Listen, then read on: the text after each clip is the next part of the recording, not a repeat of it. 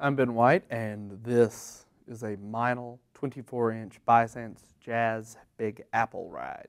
Uh, this is a cymbal that was made uh, special by Meinl for Memphis Drum Shop's 25th anniversary.